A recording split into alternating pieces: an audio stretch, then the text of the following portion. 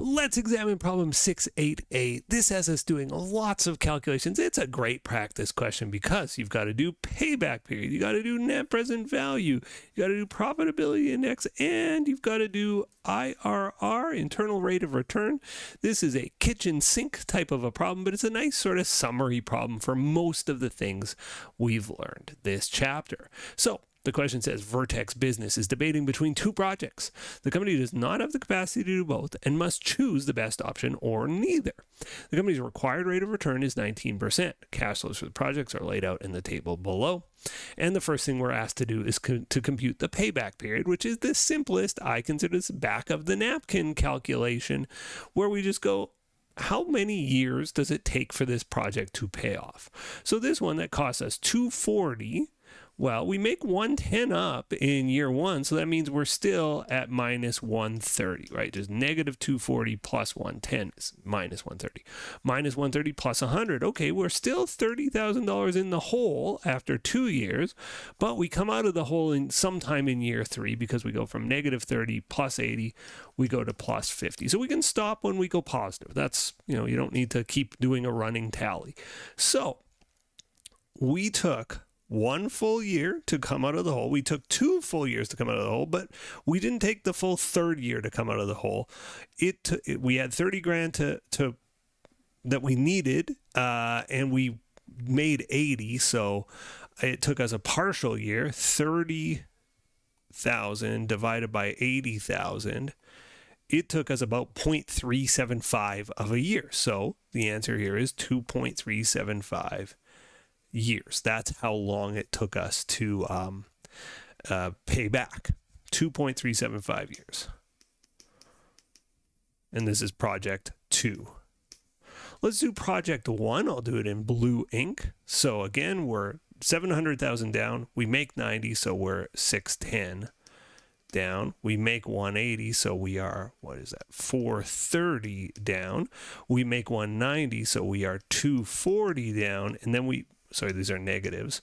We make 800, so we are like 560 up. And that's where we go positive. So it's one, two, three years plus a partial last year. We had 240 to make. We made 800. So 240 out of 800 is 0.3. So it's 3.3 years for project one. So, what would you rather it take to pay back your project? Two years or three years? 2.3 years or 3.3 years? You'd rather your project pay back faster. So, definitely a check mark on the side of project two, which is better, project two for sure. Okay, let's do net present value. Now, to do net present value, I'm not going to do by hand just because we've got our financial calculator, but I'll show you how to do it by hand. I'll show you the calculations I would do for project two. So you divide so you got to discount your cash flows. That's the thing with a payback period. There's no discounting of the cash flows. So it's that's why we call it back of the napkin math because it's rough work. But here, this 19% discounted cash flows, right? It's our required rate of return is big here, 19%. It's going to make a huge difference. So you divide to, to discount the cash flows, you divide by one plus the discount rate, 1.19 to the power of however many years you want to discount the number. In this case, it's zero 1.19 to the power of 1 divide by 1.19 to the power of 2, divide by 1.19 to the power of 3, and divide by 1.19 to the power of 4.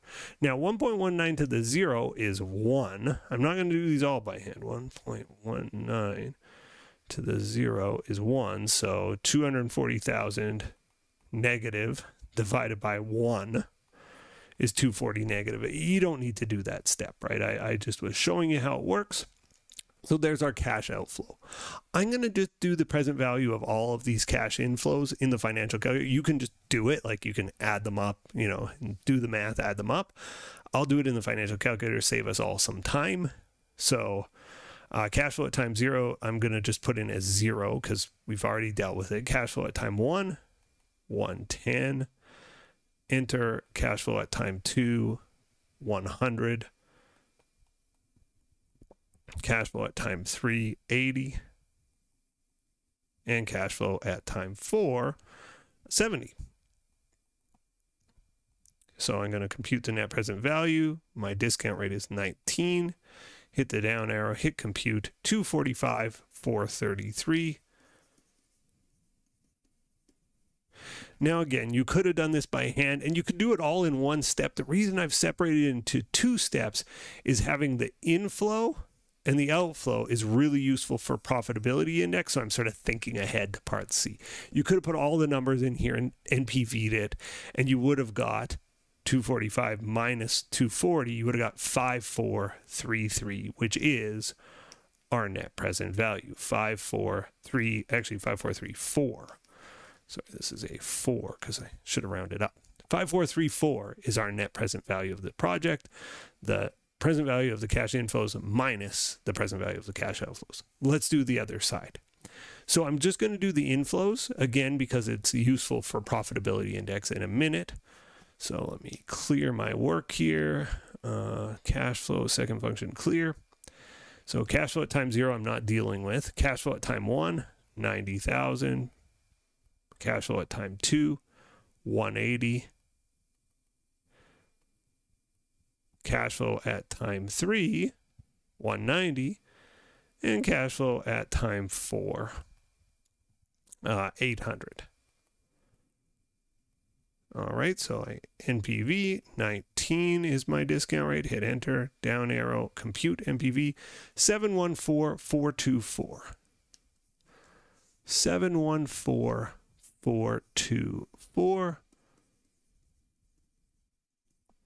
That is my uh, present value of the cash inflows. The present value of the cash outflows is negative 700. So what's the net present value? Just combine them. It's 14,424, right? 714 minus 700 is 14. 14,424. So a pretty big win for project one, uh, leaving me better off here. Okay, compute the profitability index of each project. Now, because I split out my calculations the way I did, this is easy. You just divide the inflows divided by the outflows. So divide 245 by 240, divide 714 by 700. So let's do the 714 divided by 700. 1.021. 1.021. So that's for part C. And uh, 245 divided by 240 two, four, five, four, three, four, divided by two, four, oh, oh, oh, oh, 1.023. 1.023. Okay, so what would you prefer? Well, it's close, but uh, definitely uh, Project 2 is slightly better than Project 1 as far as profitability index goes. Next, we do IRR. So we're going to enter our cash flows again. Now, if I, I could do a shortcut and sort of use the ones that are in memory, but I've cleared my memory to do this from scratch. I'll do project one first. 700,000 negative is my cash flow at time zero. So I do enter my time zero cash flows here. Cash flow at time one, 90 cash flow at and this one there's no way to do it by hand. All the other ones i could have done by hand just as easily. It would taken me two more minutes or maybe five more minutes but you can definitely do it. Uh, this one you just can't do by hand. Well it's not easy to do by hand. Let's just put it that way. Cash flow at time two 180 cash flow at time three 190 and cash flow at time four 800 and now I compute uh, uh, the IRR. So I hit IRR, compute. I get 19.77%, 19.77%.